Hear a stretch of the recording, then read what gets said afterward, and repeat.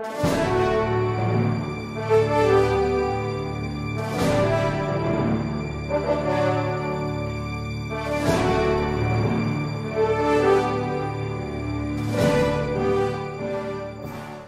the BIR commissioner wants to prove that there are other income, then do it. You have to as make the assessment.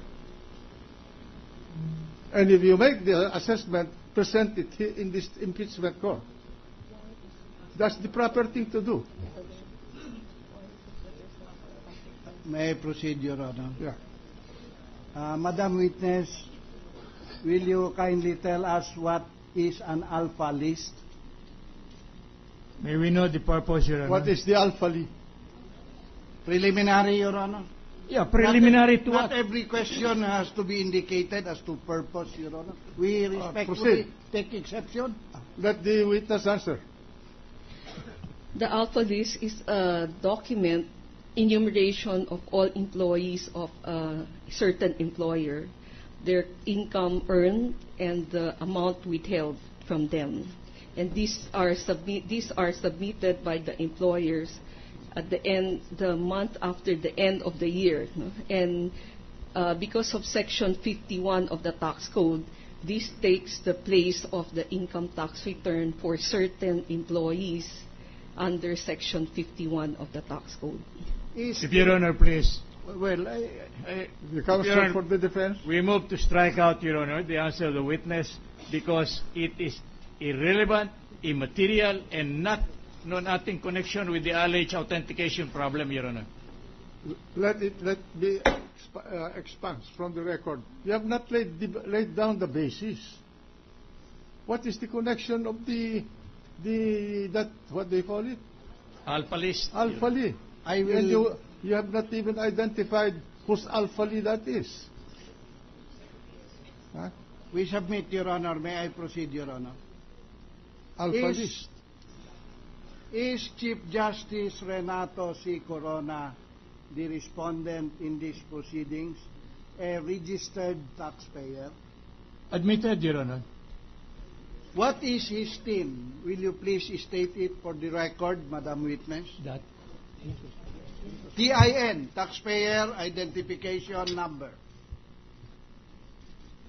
Again, we will object to the question, Your Honor, on grounds of immateriality, irrelevancy, and not And, and, and why, why should is what I am laying the basis, Your Honor, please. So I'm sorry for butting in, Your Honor. For- Can I proceed?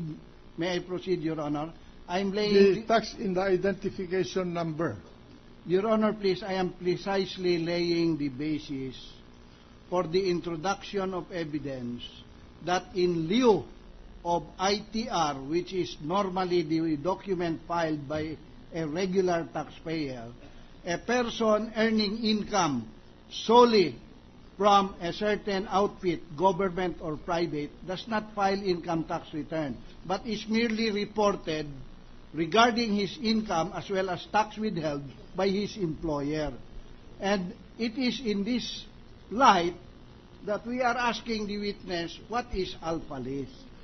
But, but since that alpha question was disallowed, I am proceeding to lay the basis that firstly, the respondent is a registered taxpayer, therefore he has a TIN, and the next question would be, how is he registered as a taxpayer? Local employee or engaged in business? If Your Honor, We are in search of the truth here, But, Your uh, Honor. If Your Honor, please. If Your Honor, please. Uh, counsel for the defense. I thought we were agreed, especially when we hear the purpose of the offer, that this that the honorable uh, commissioner is being introduced only to authenticate the documents that will be identified and presented in today's proceeding. Where is the authentication here? How- Isn't that too far behind, too far, and not covered by the purpose of the offer, Your Honor? Your Honor, please, how in heaven's name can the alpha list be authenticated when it also contains the income of other justices for whom no disclosure authorization has been granted? But- so there is a need to elicit certain facts from the witness. We submit, Your Honor, entirely out of the purpose, Your Honor, and that is prohibited by the rules of procedure and even under pre-trial uh, proceedings, Your Honor. Because there is already a ruling by the Honorable Presiding Officer that the prosecution can now proceed to authenticate and make of record the income. My only The purpose... income of whom? Renato Corona, the respondent, Your Honor, and his spouse. But, but the income tax return, as you said, Wala. is not there. He, ca- it, it is in the alpha list that the BIR commissioner will testify on. He has the alpha list, uh, and uh, I request permission to allow the witness to show the alpha list. It is a very thick document. The only thing that will prevent the witness from identifying or marking the alpha list is it contains the names of other taxpayers, all justices of the Supreme Court. We cannot reveal their individual income without authorization. And they are not yet, oh, I, I removed the word yet, they are not under impeachment proceedings, Your Honor. Malapit na pala. Huwag naman. I'm sorry, I'm sorry for that, Your Honor. Kawawa naman sila. Let, let me, let me understand this alpha list. Does the alpha list contain Yeah. I, I beg your pardon. what does it contain? The Alpha List, Your Honor, contains all the names of the employees. It is a listing of all employees of the Supreme Court, including justices, and how much income or salaries they have been paid monthly, how much withholding tax has been withheld by the Supreme Court, and how much has been remitted by the BIR to the Supreme Court by way of withholding tax, which is the tax payment by these employees, Is this- including the All justices. right. For the, para maintindihan Opo. ng publiko, ito bang alpha list ay uh, ipinapresenta ninyo para ipakita na ang respondent ay hindi nagbayad ng tax? Kung magkano po ang buwis na kanyang binabayad by way of withholding tax. At kung magkano ang kanyang kinikita po buwan-buwan, Mr. uh, Presiding Officer. Wala pong income tax return kaming map- nadala, ma- madadala at maipakita sa Wala bang hukuman. income tax return ang uh, mahistra, ang uh, Chief Justice sa mga, mga anong taon?